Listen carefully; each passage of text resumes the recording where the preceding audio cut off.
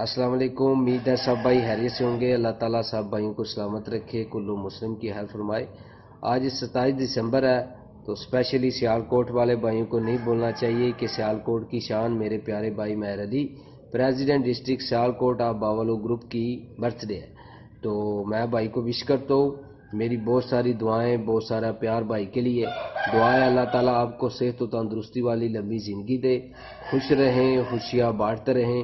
love you all باوا لوک نموس رسالت زندہ باد پاکستان زندہ باد پاکستان آرمی زندہ باد باوا لوک زندہ باد واسلہ